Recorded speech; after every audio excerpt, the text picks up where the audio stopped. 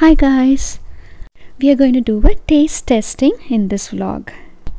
First we are going to taste test this Kirkland signature kettle chips.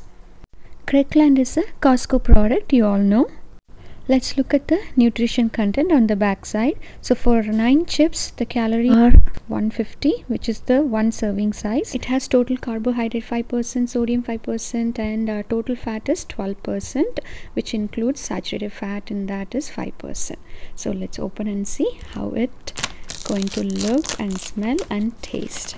It is thick. The chips is thick like other kettle chips. the smell is good. It smells good actually my daughter is so eager to try before me so she's digging in first. And um, it tastes good as well. It has a good crunch so i think this will be my favorite from now on. For two pounds the price is less than five dollar and 10 free as well. So in my pantry Kirkland kettle chips is the winner. So i give a big thumbs up for this Kirkland kettle chips so the next product that I really wanted to try and test is the Krusteaz Belgium waffles. You won't believe it. The picture on this box tempted me to buy this product. I think I'm not the first person who fell for it. So let's look at the nutrition label on the back of the box um, uh, it has for one waffle it has 220 calories and total fat is 12% and cholesterol 7% carbohydrate 11% sodium 18% so it has 12% sugar as well. So these are the ingredients and now let's look at the serving directions. Uh, so you can cook this in the toaster oven or uh, mouth uh, toaster or toaster conventional oven.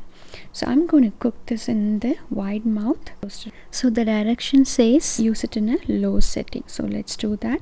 And before that let's open the box and see how the waffle looks inside. Definitely um, it looks good. It's thick and it has six waffles inside one bag. There is two three four bags inside. So six fours are 24 so let's open the bag and oh wow it looks really good. You see it as i said it's thick. And you know my daughter wants to try this as well first. She's going first. She's not cooking she's just eating like that. She likes it. So i'm going to put it in the toaster oven and here it comes. Definitely it cooked perfect. Crispy on the outside. So make sure to cook this in the low settings. That's important because I I did not do it. It burnt a little bit on the back side. Um, but anyhow uh, so always cook this waffle on the low settings.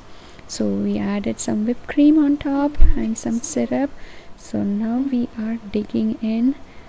There you go so as we cut in you can hear the crunchy sound. So this tells you that how crispy it is as well as it's soft inside crispy outside and soft inside. The taste is really good. So for a frozen Krusteaz, Belgian waffle I definitely give a big thumbs up and don't forget to subscribe my youtube channel Fati's journey. Thanks for watching